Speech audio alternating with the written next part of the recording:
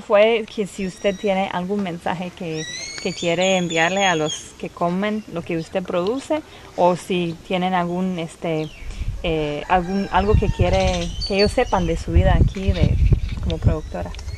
Y ahí sí que, que está bueno que consuman porque la mantequilla orgánica es muy buena, muy saludable, porque pues no, no solo puro orgánico. Uh, it's good that you that you eat nut butters because nut butters are very good for you, especially organic nut butters. It's all organic and that's good for you. Lisa, can you think of anything that we might want that people at home might want to ask her?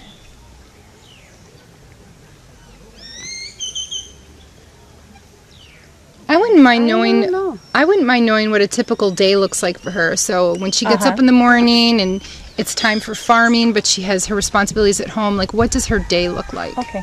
Preguntan eh, cuál sería un día típico para usted aquí. Usted, por ejemplo, a qué hora se levanta, cuáles son las quehaceres de casa que tiene que hacer, si le da chance de ir a plantío, como entre cuál hora a cuál hora, cuál sería el, la rutina diaria que usted lleva aquí en la finca. Aquí en la finca nos levantamos a las 4 de la mañana Here on the farm, we get up at 4 o'clock in the morning. y hacemos algo un poquito que hacer y lo- me voy a las 6 a la huerta y después regreso ya como a las 8 a buscar el quehacer de la casa, el poquito que se hace y, y a veces en la tarde nos vamos a las 3 y regresamos a las 5 y So at, after I get up at 4 o'clock in the morning, I'll probably do some chores around the house. At 6 o'clock, I'll head out to the fields and I'll be back in by 8 o'clock to do more chores in the house. And then sometimes in the afternoon, we'll go out again from 3 to 5. Y los quehaceres que usted tiene que hacer en la casa, en la mañana, ¿qué hace?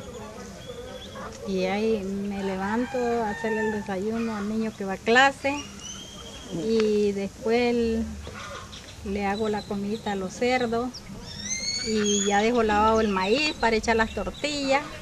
So in the morning when I get up, I have to make breakfast for my son who goes off to school. I have to feed the pigs. I also wash the corn to leave the corn ready to make tortillas. Después, Y después ya vengo, cuando vengo de la huerta, vengo a hacer el almuerzo. ¿qué come Y para el hay almuerzo? arroz, frijolito y si hay alguna otra cosita, cuajadita o queso, crema o carnita, algo. And so then after I come back in from the fields, I'll make lunch and we might have rice and beans. We might have some cheese or some cream with that. We might have some meat. Thank you. I really appreciate your time and just sharing so much about yourself and your life with us. It's very helpful and I'm very grateful. So thank you. Muchísimas gracias por compartir con nosotros su vida, un poquito de su historia. Nos ayuda muchísimo a nosotros. Entonces, muchísimas gracias. Gracias, igual.